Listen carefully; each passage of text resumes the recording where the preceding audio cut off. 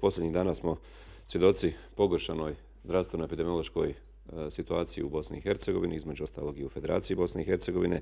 Trenutno bilježimo porast broja slučajeva COVID-19, odnosno ubrzan porast prijenose virusa u populaciji.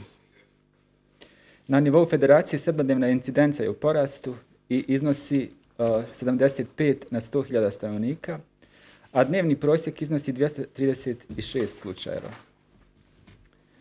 Eh, što se tiče geografske distribucije, preko ova incidencija preko 100, preko 100 slučajeva na 100.000 stanovnika bilježi se u Hercegovačko-Neretvanskom, Zapadno-Hercegovačkom i kantonu 10.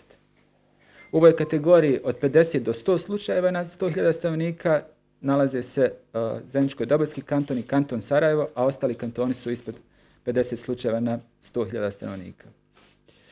Od početka septembra uh, pratimo ovaj uh, intenziviranije uh, distribuciju kada je riječ o dobnoj strukturi oboljelih. Naravno je razlog to između ostalog je početak škole.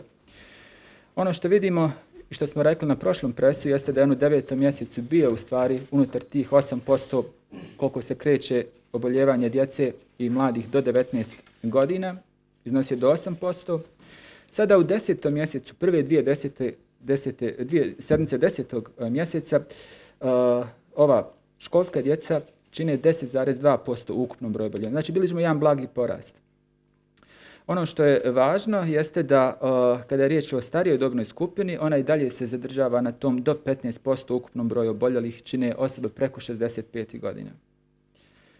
Infekcija se širi većinom i uglavnom među radno sposobnim stanovništvom i ono što želimo da naglasimo, što govore iskustva drugih zemalja, jeste kako se ona više širi i kako ovaj više se širi među radnom sposobnim stanovništvom, ona će se početi širiti i na druge dobne skupine.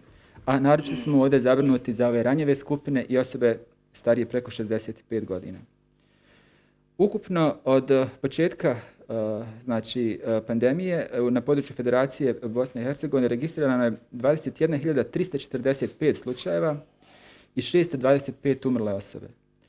U dobnoj strukturi umrlih osoba 70% čine osobe preko 65 godina, a 25% čine osobe od 50 do 64 godine. Sve znači, ostali 5% su znači ispod ove, ove granice. Ono što u ovoj sadašnjoj situaciji, kada, kao što sam rekao, bilježimo porast i ubrzanje prijenosa infekcije, je važno reći, jeste da kao stanovništvo mora ostati prevrženo mjerama prevencije i kontrole infekcije, ono što često ponavljamo, to su mjere distancije, higijene, nošenje maski, ventilacija zatvorenih prostora –